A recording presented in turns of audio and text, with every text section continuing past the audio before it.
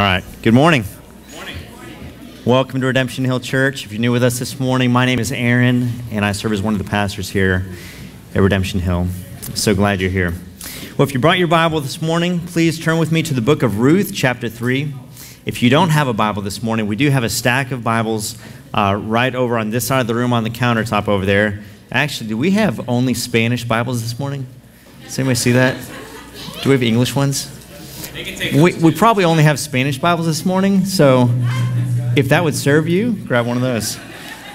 We're on page 144. What is that in, what is that in Spanish, Ricky? There you go. Not even going to try that. All right. Well, this morning we're looking at Ruth chapter 3. We're continuing our series in the book of Ruth for the last few weeks. We're, in a, we're in a four week series on the book of Ruth. And, uh, and this morning, we, we turn to chapter 3, which is really the decisive, climactic turning point in the book of Ruth. So this morning, things actually get kind of dicey. We see some, some shady stuff going on. And so buckle up because it's going to be, it's going to be a fun ride. Well, what we're going to see this morning is we see the matriarch of the family, Naomi, plotting a plan to provide a husband for Ruth. And this plan is, like I said, it's kind of shady, could very likely end in disaster because you see it and you're going to read it and you're going to be kind of cringing, saying, oh man, maybe you've read this book before, so it's not actually like you're actually sitting on the edge of your seat, but you should be. The original hearers would have been sitting on the edge of their seat.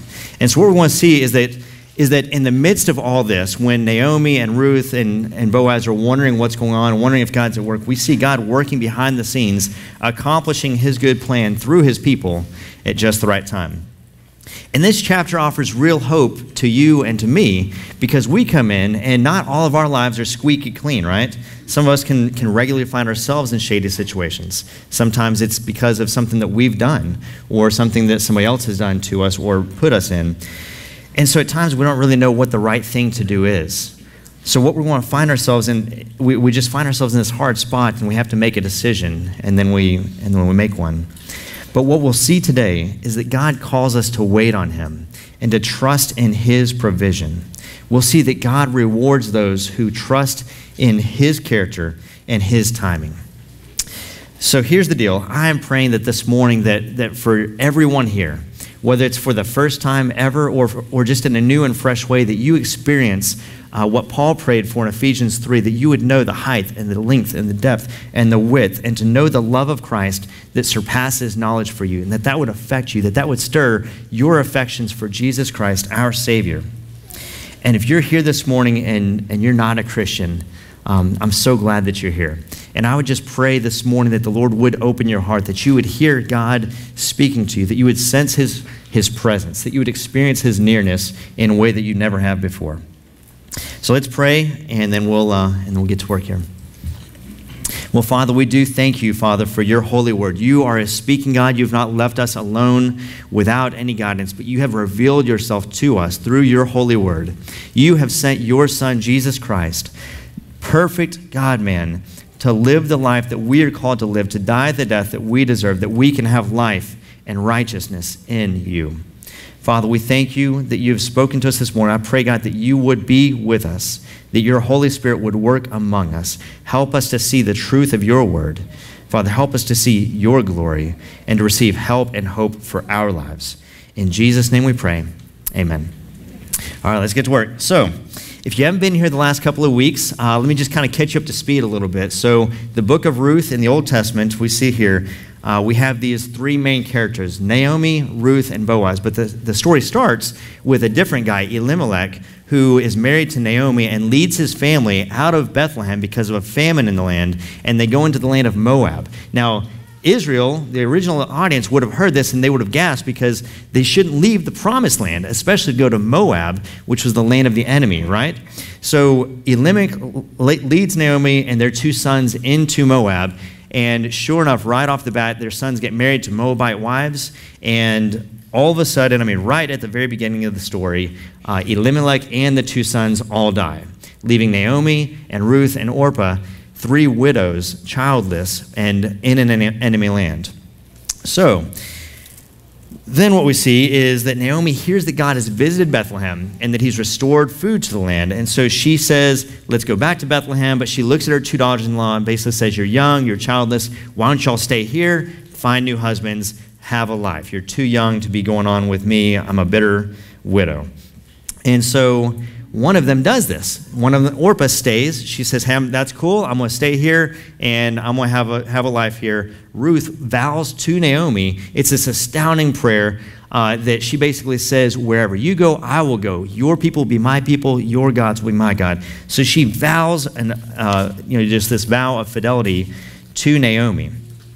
And so, so chapter one ends with Naomi and Ruth walking into Bethlehem and they're alone and they're not sure what they're going to do. Ruth is a Moabite uh, woman walking into Israel, and Naomi is walking in and she's seeing people that she knows and she's telling everybody, I am a bitter woman because I left here full and God re- returned me empty.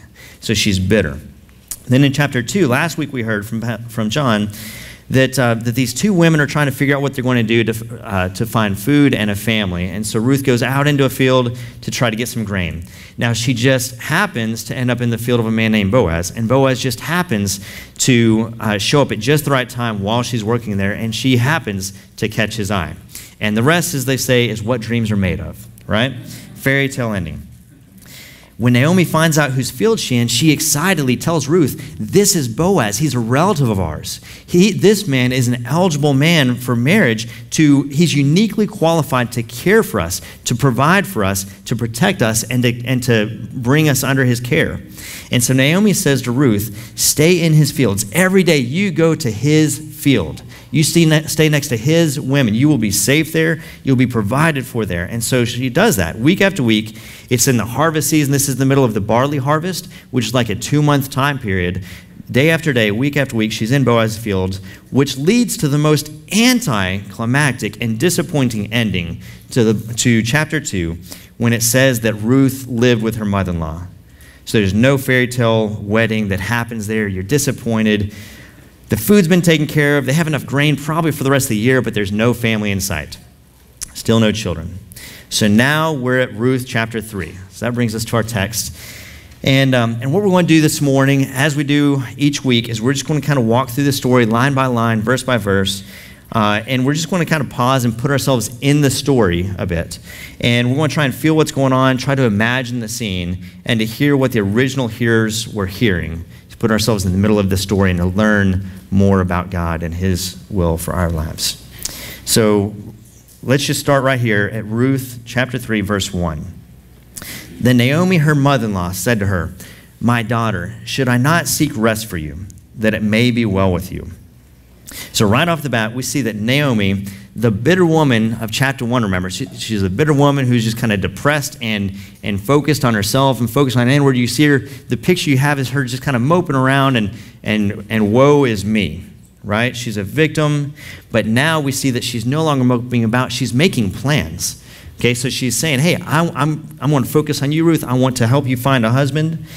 Um, People that see themselves as victims rarely make plans. Usually they sit around blaming, blaming others for their circumstances and for all their troubles. They're hopeless, and their bitterness robs them of their ability to, to move forward with purpose and hope into the future. So, what changed for Naomi? What, why is she she's so different here? We see a shift in her countenance. Bible scholar Ian Duguid wrote a commentary on this book, and he says that Throughout the first two chapters, Naomi was consumed with only three people me, myself, and I. She had turned inward, consumed by grief and bitterness, and cut off from those around her. Now, last week, um, John introduced us to this, to this Hebrew word. Y'all remember, y'all remember the Hebrew word that he introduced us to? Uh, was hesed. So we don't always quote Hebrew because neither of us actually know Hebrew, but we read commentaries that, that tell us these words. Uh, so this is a really important word. Okay, it's not just a cool Hebrew word to say, I know Hebrew hesed, but it's a very important word that's going to continue to play in this chapter today and in the next chapter next week as well. Uh, there's really not a word in English that translates hesed very well. You can see it's, it's translated here kindness, right? Well, it's translated that way throughout the book, but, but really, if you want to if you want to understand what hesed is, you try to imagine uh, different words because it really takes a number of different English words to make it up. So you take kindness and love and loyalty and faithfulness and grace and mercy and compassion, and you mash those up into one word, and that's and that's hesed. So every time I say hesed, you think kindness, love, loyalty, faithfulness, grace, mercy, compassion, right? Because it's a lot faster just to say it that way. So, what seems to have happened here is that over the course of the first two chapters, we see Naomi experiencing God's hesed. We see him her experiencing God's loving kindness toward her and providing for her and going before her. And, and as we see this, we see that her heart, her heart is being softened, right? So now she has some hope. Now she's saying, hey, I can, we can move forward here. Uh, I can make some plans. Maybe now she's re- starting to recognize that maybe God wasn't really to blame. Maybe he's not out to get her, right? Maybe she's ta- starting to take um, responsibility for her own actions and to repent of, of, of not doing that and putting it off on everybody else. We saw that Naomi was bitter in the first two chapters. Well, as we said, bitterness turns us inward um, into self depression and self absorption. But repentance, true repentance, draws our attention away from ourselves and onto others, especially into God. And so this repentance is the result of coming to grips with the grace and love of God for us, his hesed, right? His loving kindness. So what we see here in, in Ruth chapter 3, verse 1 is a changed Naomi. She's been changed by the grace and the love of God. So Naomi turns to Ruth and says, My daughter, should I not seek rest for you, that it may be well with you? So, the, so just to be clear here, what, what Naomi is saying is Ruth, you need a husband. You need a man. Because once she has a husband, she'll find rest, the comfort and security that she is longing for, the provision, the protection. And here's Boaz, who, who God just happened to bring into the field where Ruth just happened to be gleaning. Sorry, I know this is distracting. I have no earlobe, so this thing doesn't want to stay. Need a staple. Now, in chapter 2, we see the emergence of Boaz, and we learn that he's a relative of theirs, one of their redeemers. Hope is found, and he has great favor on Ruth and Naomi. But it's been, I know, but it's been six weeks, maybe seven, and they, have, they still haven't seen their dreams realized. They st- he's still not proposing, he's not talking relationship. So now what? He hasn't moved things forward, and Ruth can't just go up to him in the middle of the field while, while they're working and ask him about marriage. So Naomi comes up with a plan. She's going to play matchmaker. Maybe some of you can identify with this. You see the singles around you and you feel compelled to help play matchmaker. Well, that's what Naomi is doing. There's a little more responsibility because she's the mother in law. So let's look at verse 2. Is not Boaz our relative, with, who, with whose young women you were? See, he is winnowing barley tonight at the threshing floor. So pause here. Two things about Boaz. One, we're reminded here that he's a relative, and he's a relative that is uniquely suited to, he's an eligible bachelor. Eligible bachelor, particularly for Ruth, because he, can, he has a responsibility through the Mosaic law to provide for her in the event of the death of her husband because he is a relative of theirs. Okay? So we're going to see more of this in chapter 4 the idea of Boaz as a relative redeemer, a kinsman redeemer. And then, second, we see that Naomi points out that he's going to be winnowing barley on the threshing floor tonight. So, what would happen is at the barley harvest, at the end of the barley, barley harvest, you have, after all the barley has been harvested, you'd have the secluded area, most likely up on a hill, uh, somewhere in the evening where there was a cool breeze that was coming across.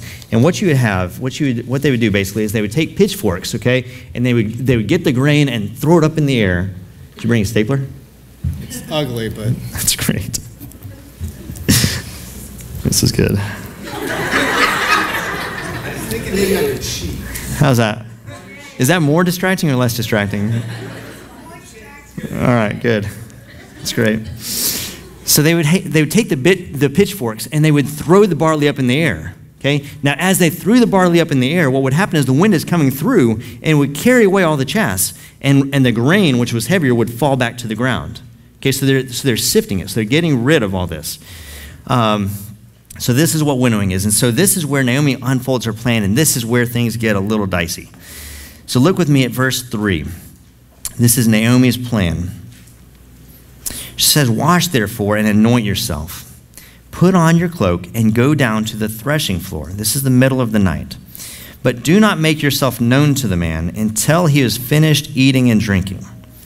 But when he lies down, observe the place where he lies. Then go and uncover his feet and lie down, and he will tell you what to do. Now, if you are hearing this in the original context, you are blushing big time right now.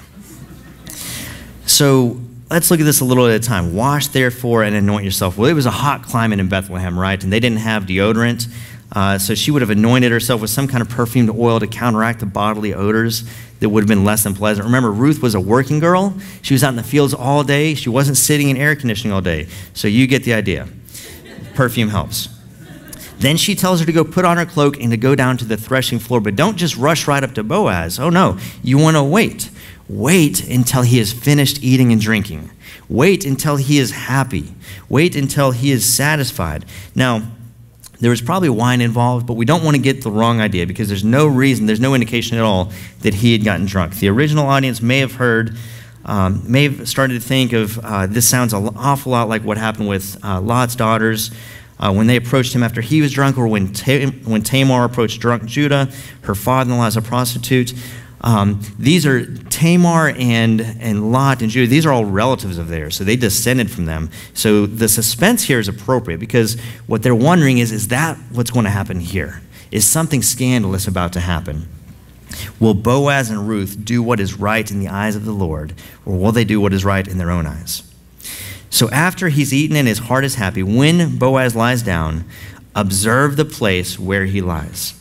Then, and this word then is important because this is a euphemism in the original language where basically Naomi is saying, okay, now this, this is crucial. Here's what you're going to do. And this raises the tension and sets the stage for the sentence. Then go and uncover his feet and lie down, and he will tell you what to do.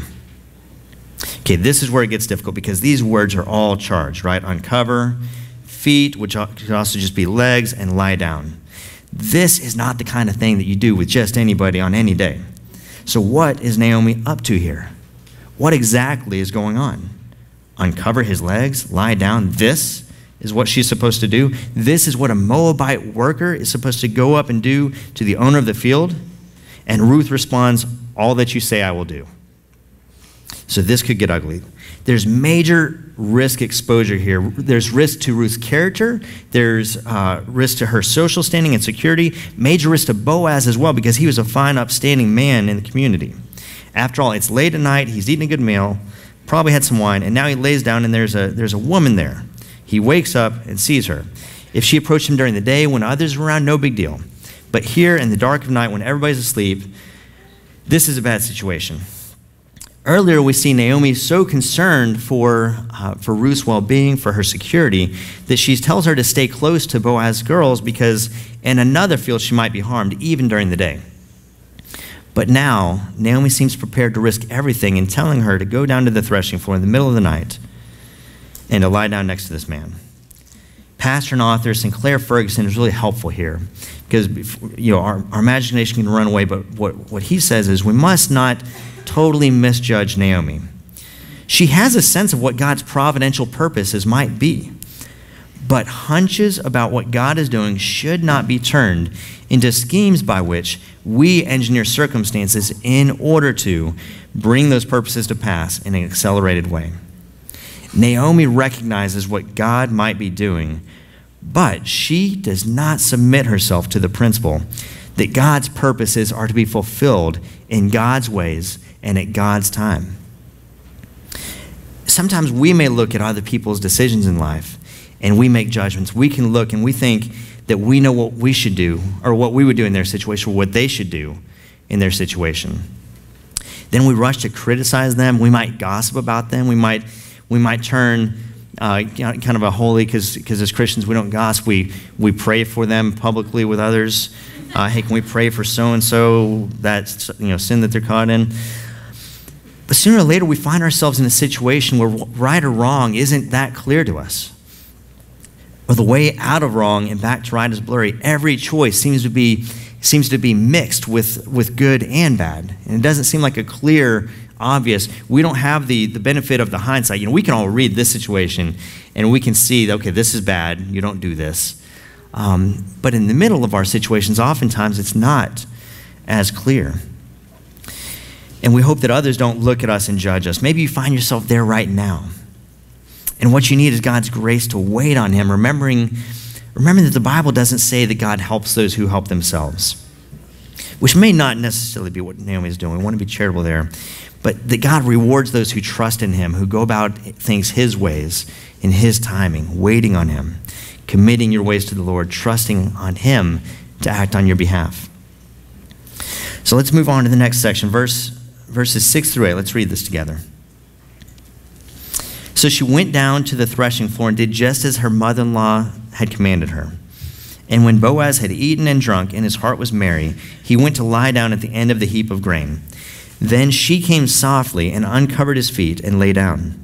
At midnight, the man was startled and turned over, and behold, a woman lay at his feet.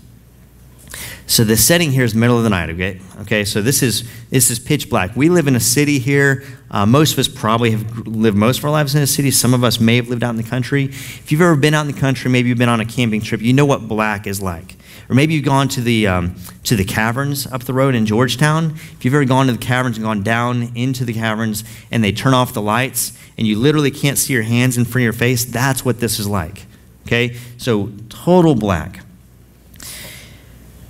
And so it's an appropriately dark setting for a dangerously dark plan. Here's Ruth looking and smelling good, hiding off somewhere quietly, watching the working going on. She sees Boaz, her man, off winnowing. He's, he's working, he's a man, you know, he's throwing up, he's winnowing. She's eager with anticipation. And then the moment comes, after the working, after the eating and drinking, that the men go off to sleep. Put yourself there, though. How does she know when he's asleep? It's dark. She can't just go rushing over there. I mean, I don't know. I don't know what's going on here. Some of you have young kids, and you you put your kids to bed at night, right? I love bedtime with my kids. I've got three little boys, and our youngest right now. Typically at night after his bath, I'll read to him a couple of books, and then I'll lay him down in his crib, and I'll sing quietly over him while I'm just kind of patting him like this. And it's dark in there, but there's you know it's not pitch black, and so I'm kind of trying to trying to see is he asleep? It's hard to tell. So I kind of slowly, slowly back up he pops up his head. Oh, just, I'm right here. You know, I'm, I'm here, son. It's okay. You know, I keep singing. That's what I imagine this is like. She's, she's creeping up. She's, she, is he, no, no, I see his eyes, you know, and then, okay, no, it looks like he's asleep now. So she found her moment, and in perfect accord with Naomi's risky plan, she, she creeps up on Boaz, lays down next to him, and uncovers his feet. Now, what happens? By way of contrast to Naomi, we have Boaz who finds himself, he wakes up, totally innocent here, wakes up in the, in the crucible of temptation, and he's set before us as a model man of God. Here is a man who, despite um, the circumstances, of course, he desires the best for his life. He likes Ruth. We'll find out that he's, he's really excited about the idea of marriage, but he, he wants to, he's totally committed to God's ways, God's timing, God's purposes in his life. Psalm 37 4, one of my favorite verses in the Bible, says, Delight yourself in the Lord, and he'll give you the desires of your heart. And here is Boaz perfectly fulfilling this. All right, so Boaz is displaying, displaying what it means to truly trust God in the scene, to wait on him, to do things his way. Obedience to God's commandments, like we see here with Boaz, integrity before God, is a result of a deep seated confidence in the character of God, in who He is, and the fact that ultimately God is for you. God's not against you. He's not against your good. He's not against your happiness. Oftentimes, uh, people can, can kind of stand far back from Christianity because they see Christianity as a straitjacket. That, well, if, I, if I'm a Christian, I can't have fun. I can't do things that are, that are good for me. God doesn't really know what's good for me. I do. But that's not true. That's not who God is. And so, so we see this in Boaz. So what happens now? Nothing bad happens. Okay, there is no hint. While the scene's intense, while the language is provocative, there's absolutely nothing here that suggests anything inappropriate or immoral happened. In fact, we'll see later that both of their character is praised. So we have every reason to believe that Boaz and Ruth conducted themselves in a way that's exemplary for all, displaying an utter trust in God and integrity before Him. So Ruth is lying there. She's next to Boaz. She uncovers his feet, maybe his legs. The cold air hits him and he wakes up, you know, to, to wrap his cloak back over himself. So as he sits up, he smells the perfume and notices that he's not alone. There's a woman sitting, laying at his feet. So how does he respond? Verse 9. He said, Who are you? So he wakes up and he responds with remarkable poise. He doesn't, you don't, I mean, you don't know the tone of his voice, but you don't get the impression here that he wakes up in anger, that he's, that he's, he's rash. Maybe he's whispering, he responds calmly, rashly, in display of a God centered view. Here is a man in whom God had worked his grace deeply. Think for a moment of how Jesus woke in the storm with his disciples at sea, right? He woke up, he was totally calm. Like Jesus, Boaz's heart and mind were guarded by the peace and love of God. He knew that God was in control. How could you or, you or I respond similarly? It's, you know, Boaz grew up meditating on God's word. He had a life transformed by a renewed mind, a commitment to pleasing God, and, a, and an unswerving confidence that his ways are best, that God is for him. Listen, the fruit of a heart that has been meditating upon God's word enables us to bear this kind of rich fruit of grace. So Boaz displays his integrity in his response to this scandalous situation. He doesn't wake up and yell at her, he doesn't rebuke her for her short sighted and risky behavior. What are you thinking? Anybody could see us. You're, you're a woman. You're a Moabitess. You're working in the field. I'm an upstanding man. This, is, this looks bad. What if somebody sees us? Rather, we get the impression here that he speaks to her with a tenderness and a graciousness that marks Boaz as exactly the type of man that Ruth needs. So Ruth responds in the second part of verse 9 I am Ruth, your servant. Spread your wings over your servant, for you are a redeemer. Notice here what she doesn't say. This isn't, um, earlier in chapter 1, uh, she, she identifies herself as a foreigner. And we see a little bit of a progression through chapter 1 and chapter 2. She's a foreigner. She's a Moabitess, which is an enemy of God's people, to a slave, I'm your servant. Now she says again, I'm your servant, but this is a different word this time. Again, I don't know Hebrew, but this, this is helpful, okay, because we have the same word, servant, appearing in our English translation, but it's actually different Hebrew words behind it. So the first time it's a sifa, which carries with it like a low sense of social standing. So, so a sifa is like, like a, a real servant, you know, you, you command and you tell what to do. But now she calls herself an ama, which in English, again, is just translated servant, but but it carries more the idea of a maidservant than a slave servant and one who would enjoy the privileges. She could be married to him. Now, you wouldn't marry a Sifa, but you could marry an Amma. So she is saying basically, hey, I am yours. Like, I could be, you could marry me. And then next, she says something very peculiar. She says, Spread your wings over your servant, for you are a redeemer. Spread your wings over your servant. Okay, what is this? This is extraordinary for several reasons. First, we have to understand that by saying this, what she is essentially doing, she is proposing marriage to Boaz. She is going to him and, and asking him to cover her. This, the gesture of a man covering a woman with his garment was, was something that would have been part of the custom of the day. And what it would have signified is the establishment of a new relationship and a symbolic declaration of the husband to provide for his future wife. This is exactly what Naomi had in mind when she put this plan forward as a way of providing rest for Ruth. And remember that in chapter 2, Boaz prayed for her to be blessed by the Lord, under whose wings she had taken refuge. So it's the same language that Boaz had prayed for her. So what, what she's saying, in a sense, to Boaz is hey, you prayed for me that God would, would protect me under his wings. Now I'm asking you to fulfill that prayer by being God's answer to your own prayer for me. That is fascinating. Ruth is breaking all custom by proposing to Boaz here. Even today, for a woman to propose to a man is unusual. Ruth is a lowly servant and he is the master. She is an uninvited visitor on his turf. She's a younger woman. He's an older man. She's a foreigner and he's a native. Not just a foreigner, she's a Moabitess. She is from the land of Moab, which was an enemy of God's people, an enemy of the land of Israel.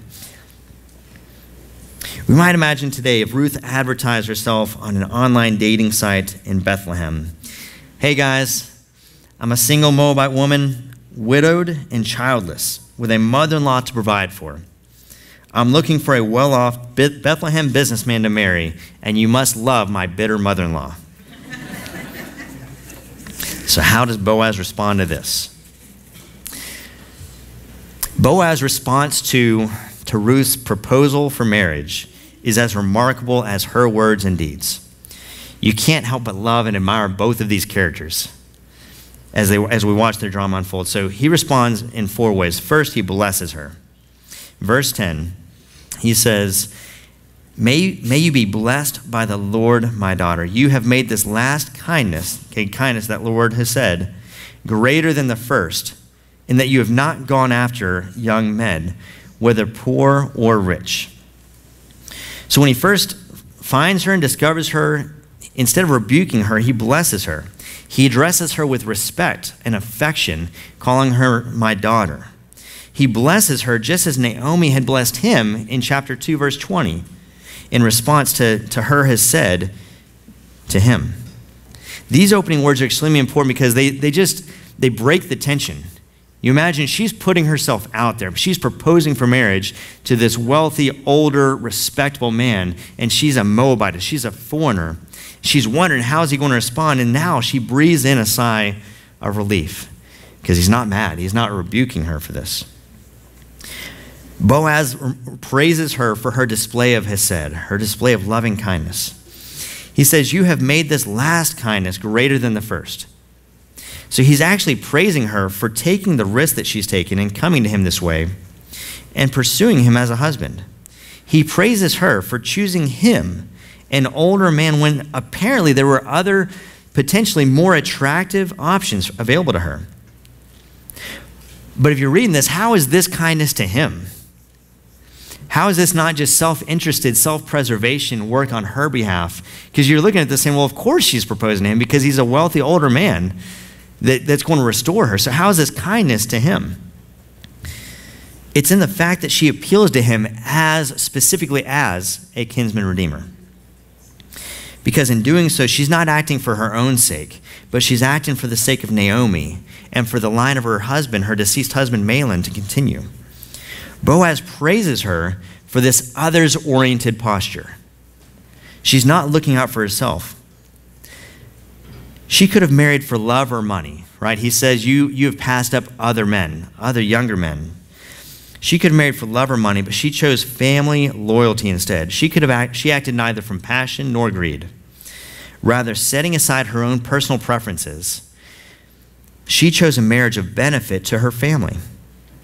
She reckoned her own happiness as secondary to the provision of an heir for her late husband and Naomi such a model of, of selfless concern, it draws your attention to someone else, doesn't it? You remember Philippians 2, how it says, Consider others more significant than yourselves, following Jesus. And Jesus teaching that the greatest in the kingdom is everyone's servant, that's what we're seeing here. We're seeing Ruth displaying an others oriented, I consider others more significant than myself. I am the servant of others. That's what we're seeing here. So Boaz goes on in verse 11 and he, and he makes her a promise. He says, Now, my daughter, do not fear. I will do all that you ask. For all my fellow townsmen know that you are a worthy woman. He goes on to comfort her. He tells her, Do not fear. Remember, do not fear. That's the most common command in the Bible, which helps us because we're all tempted to fear. We're all tempted to anxiety and he promises to do everything that she's asking. This is wonderful. And then he goes even further than that. He calls her a worthy woman, and eshet Hayil. This term is only used two other times in the Bible in Proverbs 12 and in Proverbs 31. Proverbs 31, you remember this chapter? It's the, it's the ideal woman. You know, the woman who works nonstop, who provides for her family, who, who is honorable at the gates actually, in the Hebrew canon, in the Hebrew Bible, the book of Ruth is right after the book of Proverbs because they would consider Ruth to be the perfect depiction of the Proverbs 31 woman, of the eshet Hayil, the worthy woman. And so Boaz is giving her this high praise. Imagine how this sounds to Ruth. Okay? We all have, we all come in here with our you know, less than squeaky clean records, right? We, we all come in here wondering if, if, if others knew about me, but imagine Ruth. It's not just I wonder if others know about me. She is a broken, widowed, childless, destitute woman from Moab. She's had a hard life. To hear this righteous man praise her in this way, by calling her a worthy woman, listen, Boaz is elevating her to his own status. He's a worthy man. We know this. And he's saying, You are a worthy woman. You're on my level. You are certainly a woman worthy of marrying me.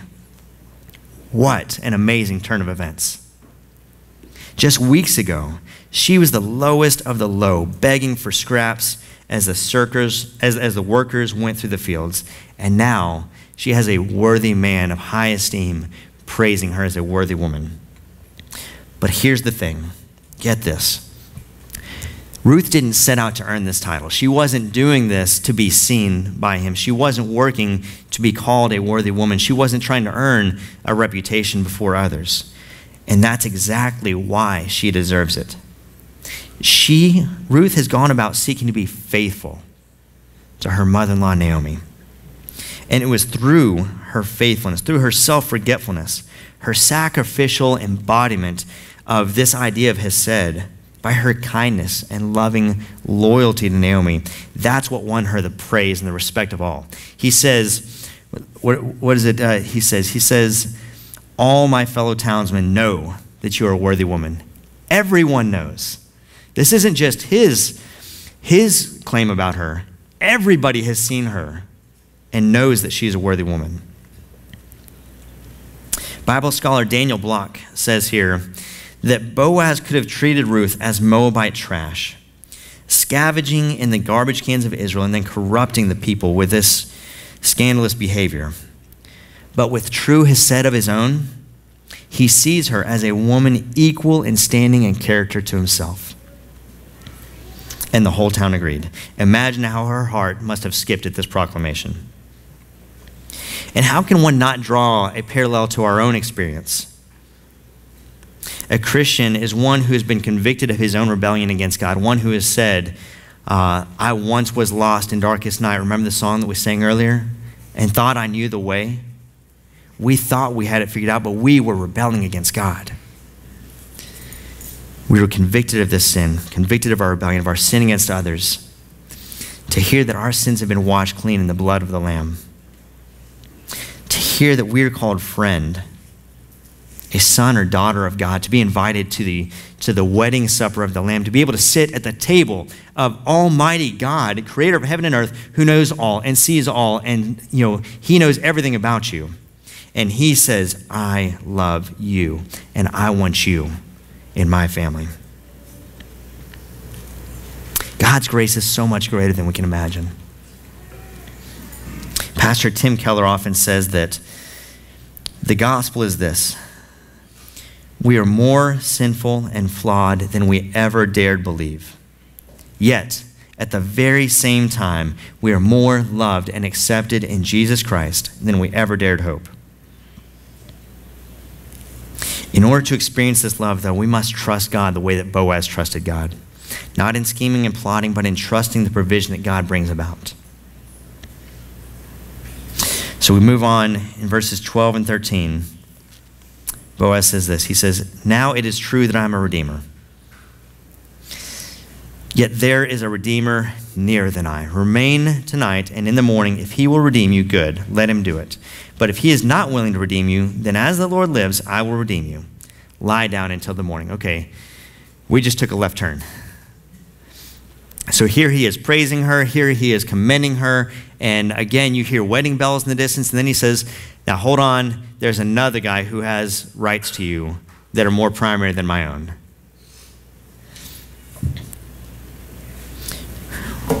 We're so close. We're right here. As much as Boaz would like to marry Ruth, as much as she wants to marry him, Boaz willingly defers to the man who has more primary rights to her than he does. He's not oblivious to the implications for Ruth, though, because she's hearing this saying, what? Like you're you're just giving up on me? So he says that if he will redeem her, if this other guy, literally Mr. So and so, if Mr. So and so will redeem you, fine. But if he does not desire to redeem you, then I will, in fact, redeem you. And he sets about it right away. Boaz's integrity and trust in the Lord, again, here is displayed, and it's astonishing. Adele Berlin writes of Boaz here the following. He said, uh, she says, It is not that by fulfilling his obligation as a redeemer that Boaz appears so loyal to the interests of the family. Rather, the loyalty of Boaz, his loyalty is in his willingness to relinquish that privilege if law or custom demanded it. How many of you have been in that situation where, where you see a way to make something happen, but you know that it's a little bit shady the way you want to go about it? And you see and you, you think, oh man, but the ends justify the means, right? Because the result of it all is going to be good. And so even if we get through it a little bit kind of kind of dicey, it'll it'll be okay because it'll all work out. But Boaz doesn't do that here. He could have done that. He could have said, you know what? Easier to ask for forgiveness than permission. Let's just get married and, and I'll tell the guy sorry. Rather, he again puts his trust fully in Yahweh and he unveils his plan to her. So, to avoid any appearance of wrongdoing, he tells her to spend the night there and then to leave before anyone would recognize her. He is here once again modeling the same kind of integrity he displayed in chapter 2. Boaz will not take advantage of Ruth. So Ruth lays down, she attempts to sleep. I can't imagine that she would have gotten any, considering the anticipation of the events of tomorrow, thinking tomorrow my life could change. I could have a husband, I could have a redeemer, everything restored.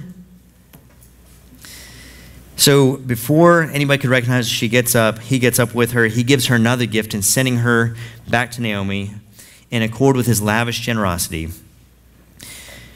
You see in verses 14 and 15 um, that he says, Bring the garment you're wearing and hold it out.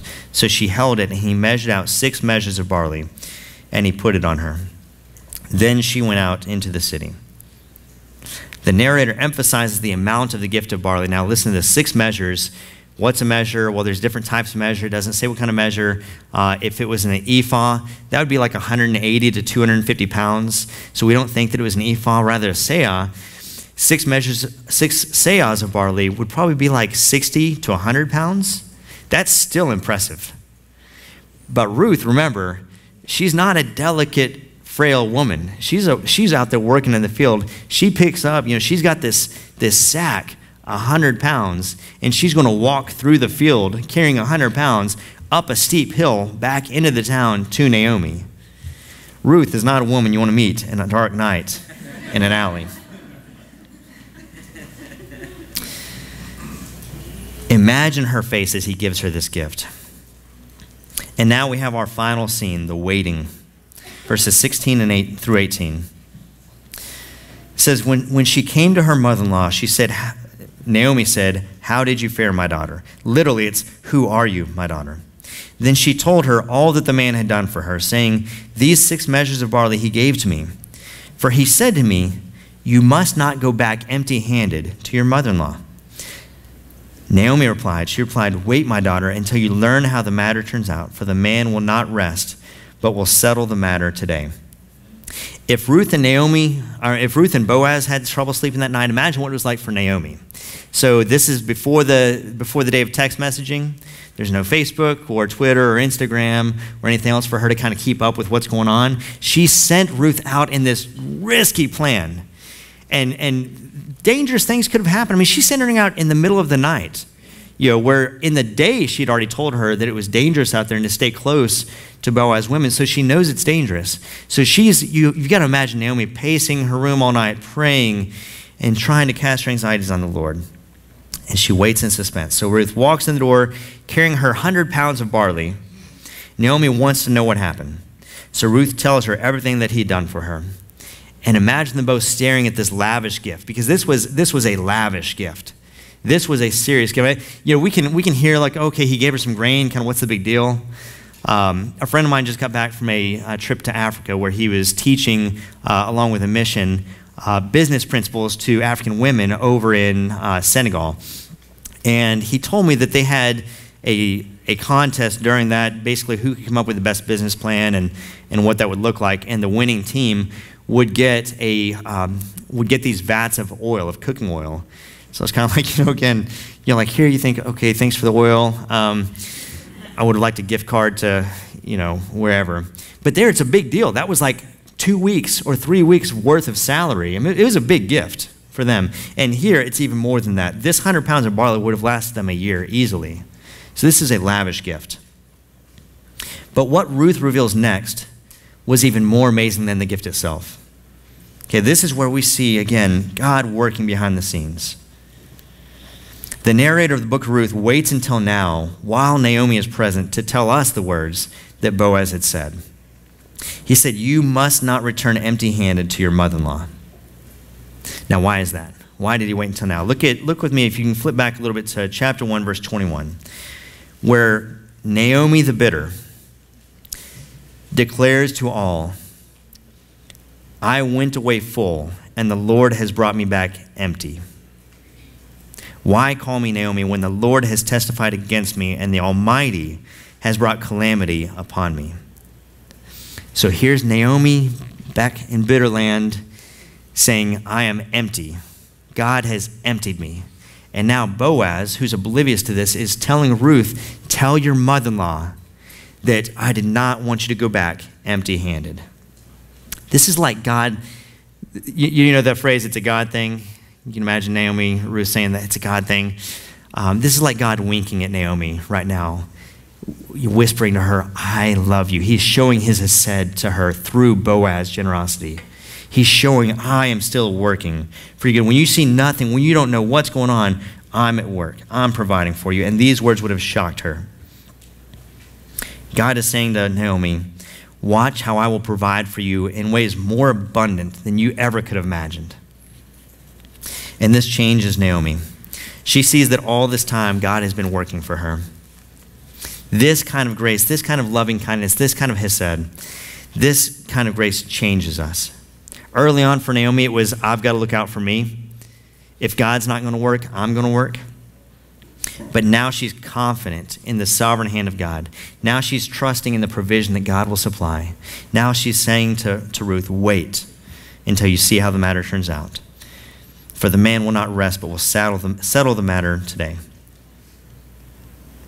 This is, this, is, this is helpful for us. Because when we feel empty, when we think that everything is bleak, there's often much more going on. We can question whether or not God's at work in our lives. We can question is it ever going to get better? Is He ever going to change? Is my, will I ever have a child? Will I ever get a job that is better than this? Will anyone ever recognize what I have been through?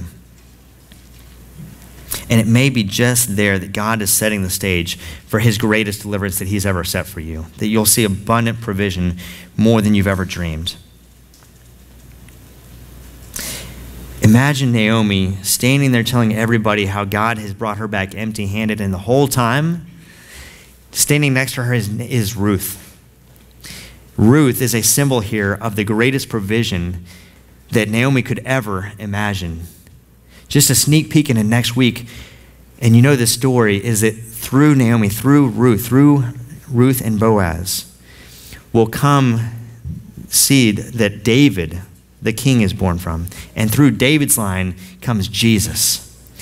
Naomi, the empty one, who God has cursed, right? Who she believes God has cursed. God's going to bring the Savior of all mankind through her seed. Empty, nothing. And this encourages you and me today. This is the last time that we hear from Ruth in this book. The chapter closes with uncertainty. Things are no longer in their hands. There's no more plotting.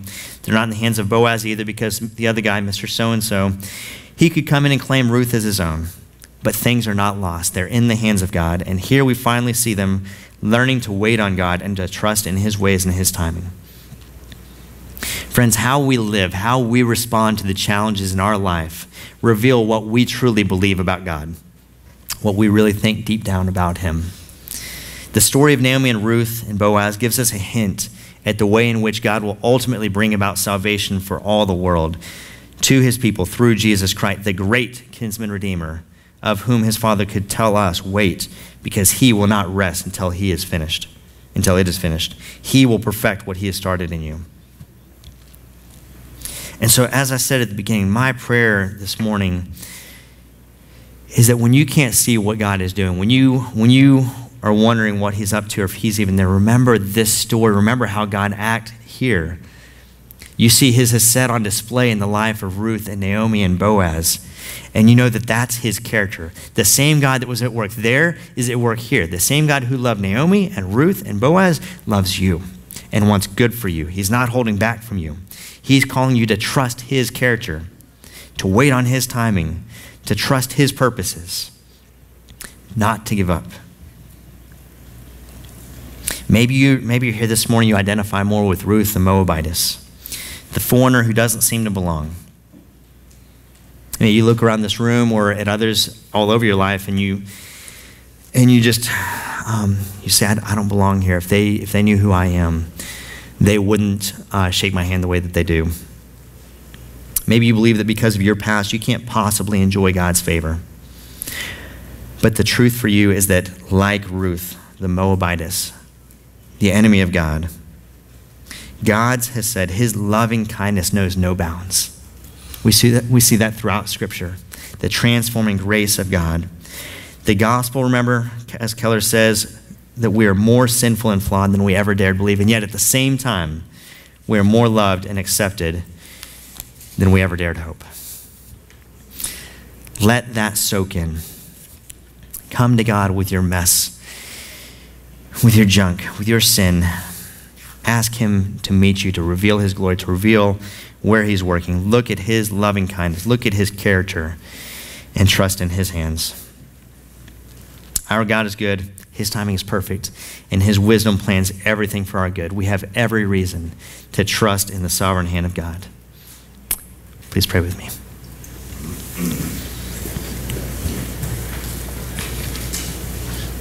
Well, Father, I do pray this morning. I pray right now, Holy Spirit, that you would actively work in our hearts, God.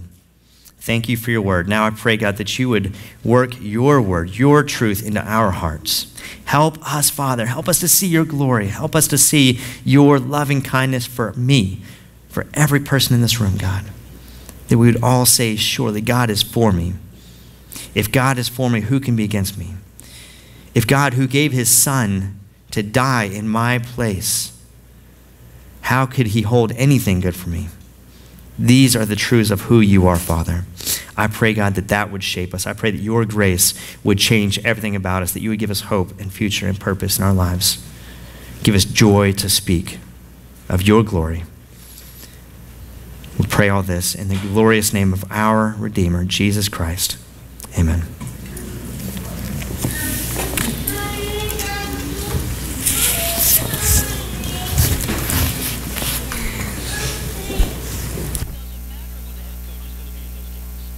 Grateful for you doing that.